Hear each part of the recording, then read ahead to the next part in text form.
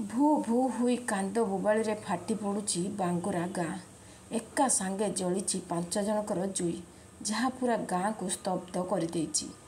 ମହୁଲ ପେଷାଇବାକୁ ଯାଉଥିଲା ବେଳେ ଅଟୋ ଉପରେ ମାଡ଼ିଗଲା କୋଇଲା ବୋଝେଇ ଟ୍ରକ୍।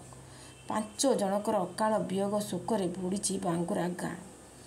ଢେଙ୍କାନାଳ ଜିଲ୍ଲାର କାମାକ୍ଷାନଗର ଉପଖଣ୍ଡର ମୁକ୍ତାପୋଷି ଛକରେ ଘଟିଥିବା ସଡ଼କ ଦୁର୍ଘଟଣାରେ ପାଞ୍ଚ ଜଣଙ୍କର ମୃତ୍ୟୁ ହୋଇଥିଲା। ଏହି ଦୁର୍ଘଟଣାରେ ଏବେ କାନ୍ଦ ବୋବାଳିରେ ଫାଟି ପଡ଼ୁଛି ବାଙ୍ଗୁରା ଗାଁ। ଦୁଃଖରେ ମ୍ରିୟପ୍ରାଣ ହୋଇ କାନ୍ଦି କାନ୍ଦି ମାଟିରେ ଲୋଟି ପଡ଼ୁଛନ୍ତି ବନ୍ଧୁ ଓ ପରିବାର ସଦସ୍ୟ।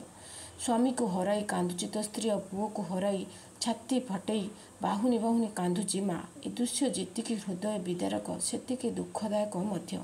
ଏକା ସାଙ୍ଗେ ଜଳିଛି ପାଞ୍ଚ ଜଣଙ୍କର ଜୁଇ। ରବିବାର ସକାଳ ସମୟରେ ମୁକ୍ତାପୋଷି ଗ୍ରାମକୁ ମହୁଲ ପେଷାଇବାକୁ ଏକ ଅଟୋ ଯୋଗେ ବାଙ୍ଗୁରା ଗ୍ରାମରୁ ବାହାରିଥିଲେ।